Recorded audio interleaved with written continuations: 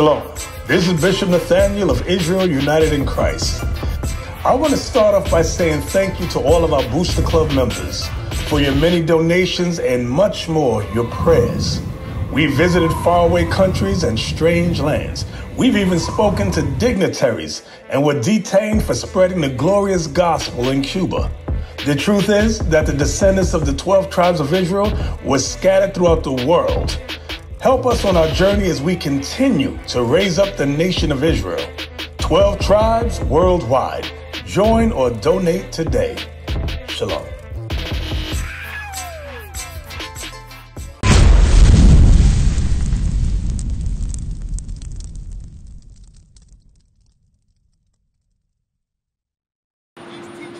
What question you had, brother? I think you had, well, you got a list. Yes, sir. All right. Say, what scripture, what scripture says about Israel's blessings to come? I've heard about all the curses. What are the, the, the blessings that are going to come? All right. Deuteronomy 28, verse 1. Because you said you heard about the curses. Deuteronomy 28, 15. Let's start at verse 1. Deuteronomy 28, verse 1.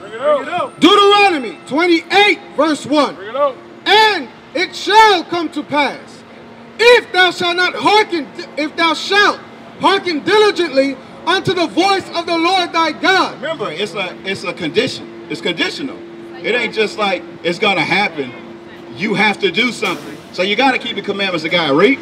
To observe and to do all his commandments, which I command thee this day, that the Lord thy God will set thee on high above all nations of the earth. So that's one of the blessings. He gonna put us above all other nations on the earth. Ain't y'all tired of being on the bottom? Ain't y'all, man, look, everything that's been going on since, well, since before Trump, but right now with Trump in office, it's been, hey, it's been some crazy stuff going on, right? They just treat us, hey, it done, it done brought out, like the scripture says, he is, uh, he made, he made Esau naked, right? Meaning the way they really feel is out right now. You know what I'm saying? It's out. They, everybody, they know they don't, they don't have a problem telling they hate you and this and that and how they treat you, right? But guess what?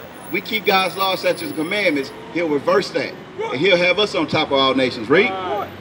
Deuteronomy chapter 20 and verse 1. Verse 2. And all these blessings shall come upon thee and overtake thee, if thou shalt hearken unto the voice of the Lord thy God. Blessed shall thou be in the city, and blessed shall thou be in the field. Look at our communities right now.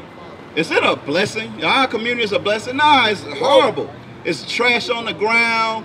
Our women walk around looking like they uh about to sell their body. It stink out here. You see what I'm saying? That's a cursing. He says our city is gonna be blessed. Graffiti. Just think about it. Look at this. There's a sign on the wall that says HIV is spreading. Like, you think that's going on in the white neighborhoods around here? They got signs like that? Nope. I ain't from Atlanta, but guess what? In Memphis, where I'm from, you go to a different uh, white communities, they got like the blue cameras in their communities. It's clean. They got like water fountains where if you're jogging in the neighborhood, you can stop and get some water. I even seen the other day a book uh, trading post where they got like a little thing set up. You can walk to it, look it up, get you a book, take it, read it, bring it back. They got like a library within their neighborhood when they walk around the neighborhood. That's something that I wouldn't have even thought of before. Dog parks, all that stuff. You see what I'm saying? They got a car wash with a dog a dog thing. You can wash your dog in and you bring it in a little thing. They climb up a thing. You time to it. And you can wash your dog in the car wash. I never seen that before in a black community. You see what i'm saying? Those blessings were meant for us but guess what we did? We didn't keep god's law, statutes and commandments. Read. Verse 4 Blessed shall be the fruit of thy body, and blessed and the fruit of thy ground. So the fruit of our body, our kids gonna be a blessing, plus our land gonna be a blessing, right? It's not gonna be that GMO, seedless, everything that's going on. You see what I'm saying? What's the name of that company? Monsanto. Like Monsanto, they want to have control of all the seeds. You see what I'm saying? To where they take the seeds and then they genetically modify so they can't um, they can't make other seeds. So you have to go to them every time instead of like you growing stuff and you can take the seeds of the seed itself. Now they want to change it to where if what they do, they have to come and spray your yard or your your uh, farmland all the time. And even right now, they got it to where if me and you live next door to each other, and I'm getting my farm sprayed and you don't, If the seeds blow over to yours, they sue you. You see what I'm saying? That's they run this place. This is their kingdom right now. The blessings are that it gets reversed. Oh yeah, look, yeah, they they, they dropping stuff into the air. You know, like you can read about this stuff. Like a lot of people say this like, oh, that's some conspiracy theory stuff. In St. Louis, they did that. It's real. It's written in their books. When the records come out after a certain amount of years, they put LSD and stuff. They drop stuff in the air to see how the chest owners. That's what they do. It's a book called Medical Apartheid, right? They form modern gynecology by practicing on slaves without um, anesthesia. So that mean they just went in there and was like, okay, snip, ah! All right, that didn't work. Get another one. That's what they did to us. Read. Is that it on there? So you can read that, Deuteronomy 28 all the way to verse 14 to give us some of those blessings. Go ahead.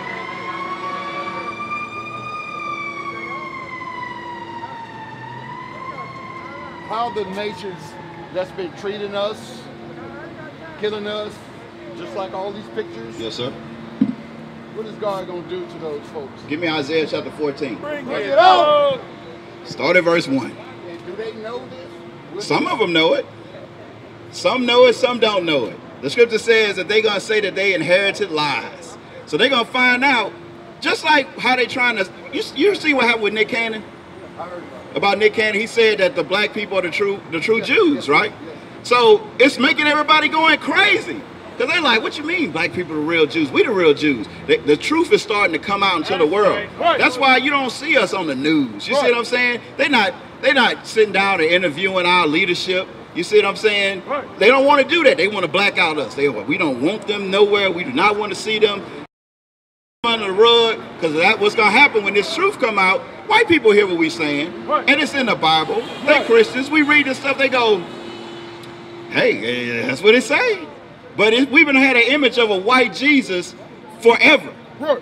But the Bible don't say that. Right. Right? They just believe it. They gonna understand that they inherited lies. Some people know this stuff. Some people don't. Read that. Isaiah chapter 14 and verse 1. He said, What's gonna happen to the other nations of what they did to us? Read. For the Lord will have mercy on Jacob and will yet choose Israel So he's gonna have mercy on his people, and he's gonna choose us. Read. and set them in their own land. Right now, we in somebody else's land. We're gonna be set in our own land. Read. And the strangers shall be joined with them. And the other heathens, the other nations, they're gonna be joining that land with us. Read. And they shall cleave to the house of Jacob. And the people shall take them And we're gonna take those other nations. Read. and bring them to their place. We're gonna put them in subjection, their right place where they're supposed to be at from the beginnings. In the book of Leviticus, chapter 25, they were meant to be, they were born and bred to be our slaves. Yes. Read. And the house of Israel shall possess them in the Shall what? Shall possess them. Shall do what? Shall possess them They're gonna be our property. Where? In the land of the Lord. In the kingdom of heaven, the other nations are gonna be our property. That's what the Bible says. It's been in there. Read. For servants, For for servants and handmaids. They're gonna be our servants and handmaids. I'm reading this. It's reading out the Bible. There's nothing. I didn't write this book. It's in your Bibles. It don't matter what translation you go to. It's gonna say that. Read. And they shall take them And captives, we're gonna take the other nations captives. Read. Whose captives they were. Who are we captives to?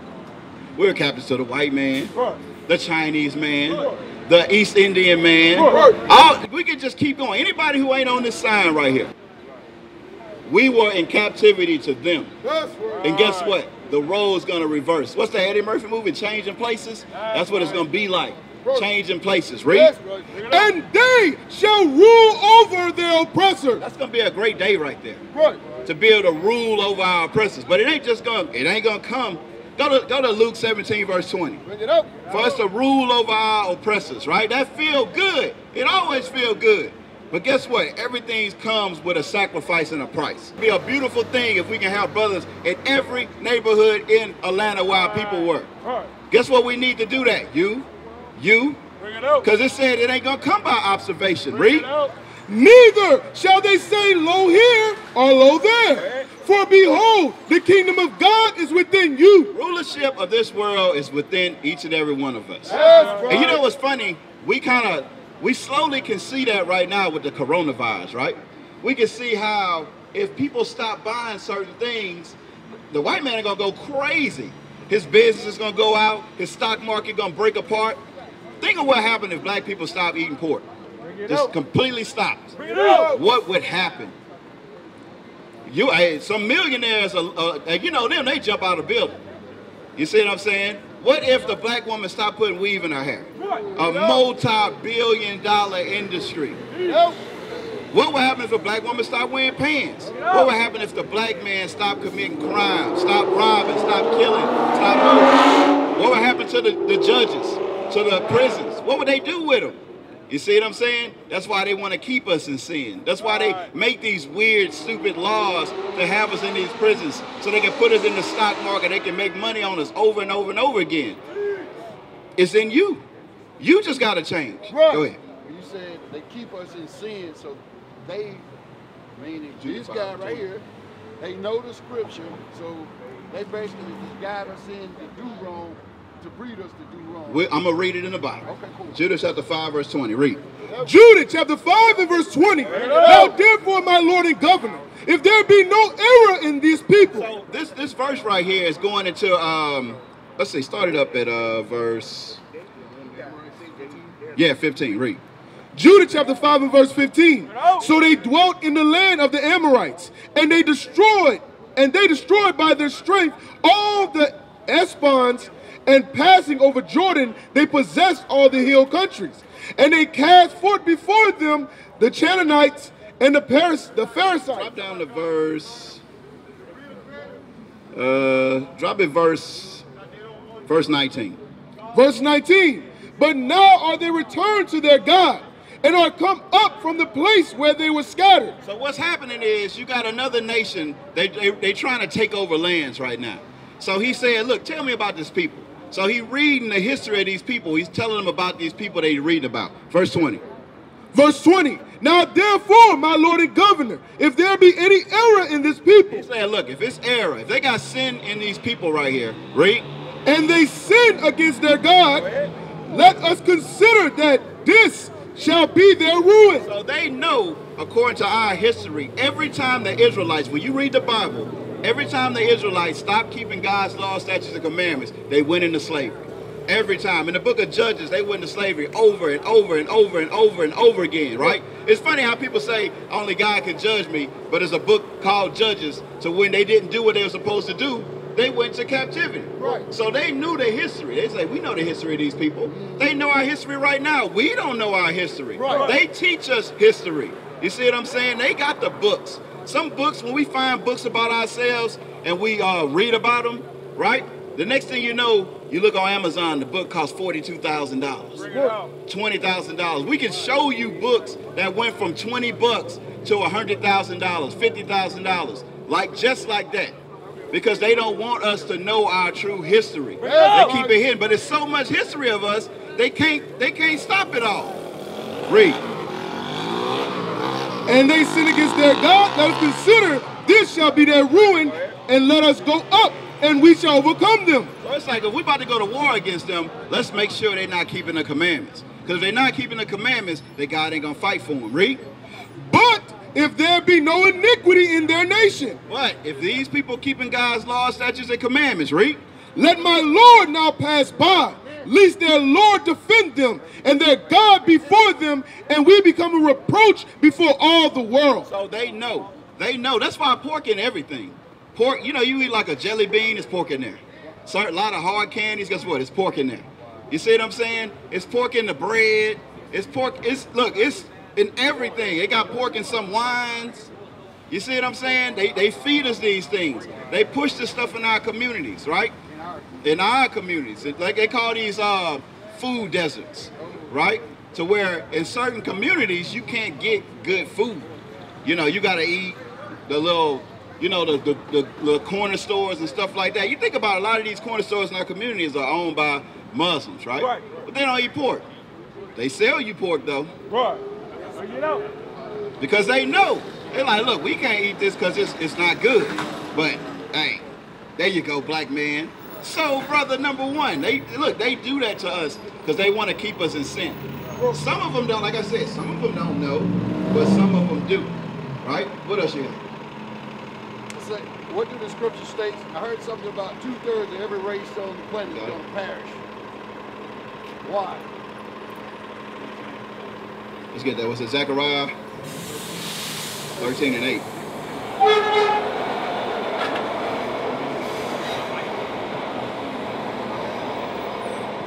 Read that. Zechariah chapter 13 and verse 8. And it shall come to pass that in all the land, saith the Lord, two parts therein shall be cut off and die, but the third shall be left therein. And I will bring the third part through the fire. So that's what it's talking about right now. Now it's not talking about the whole world. It's talking about us right now. You see what I'm saying? Because it's going to be others on this side of the world. It's going to be others that's going to come in. It's talking about the destruction that's going to happen here in Babylon. But uh, I wanted to talk to the sister because you know we talking about keeping God's laws, and commandments. She got that cross in her ear, right? And guess what? That wasn't made for us. That's our idol. That's our idolatry.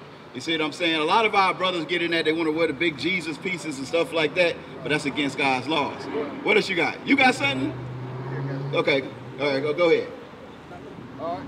What do the scripture says about masonry and, and like Easter stars? Masonry and Eastern stars. Uh, go to uh, okay. yeah Colossians two and eight. Go to Colossians two and eight. Read that. Colossians chapter 2 and verse 8.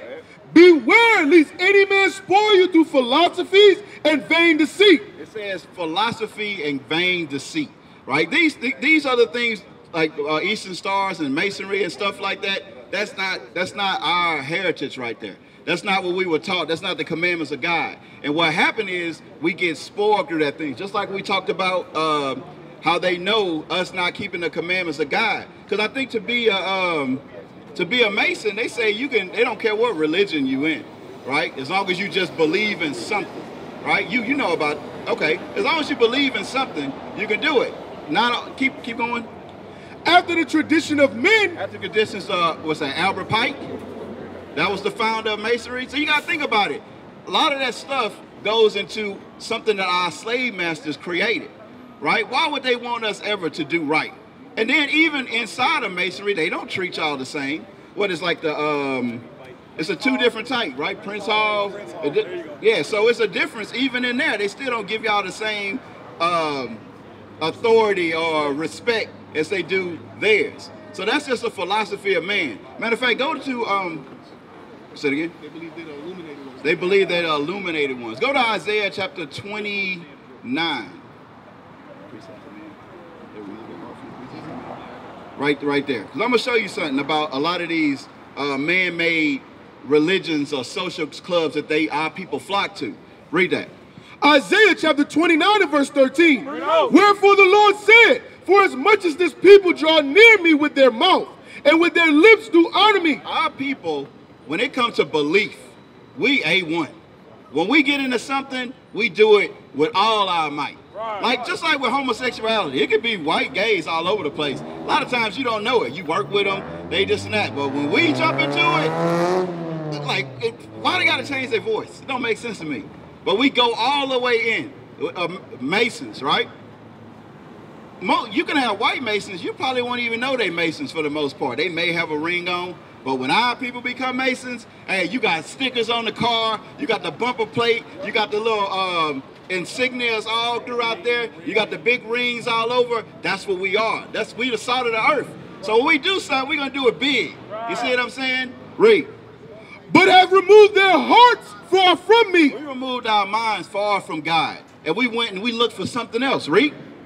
And their fear towards me Our understanding towards God. Read. It's taught by the precept of men. It's taught by the precept of men, Albert Pike. They teach us some kind of secret thing. You get in there and they make you ride a donkey or something weird like that. You know, they put the what the, the, the knife to the, the they cut your chest or something like that.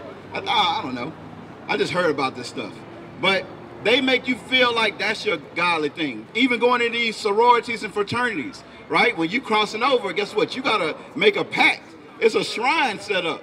You see what I'm saying? That's where that fear and understanding come through the philosophy of a man. We used to scream black power while heroin was pushed. But at the end of the day, nothing's in vain. IUIC has been given a vision. The tents of Judah has risen. Many has attempted the mission, minor murmuring, omitting, and missing the mark. Just reading that he had the flame of fire in his eyes gave us the spark. We on Paul's mission. We out on the road, purple and gold, from Mexico, Cuba, Haiti, Ghana, Sierra Leone. 144,000 boots banging, concrete crackling. These are our men repented at heart. The scriptures is proof. IUIC, we deliver the truth.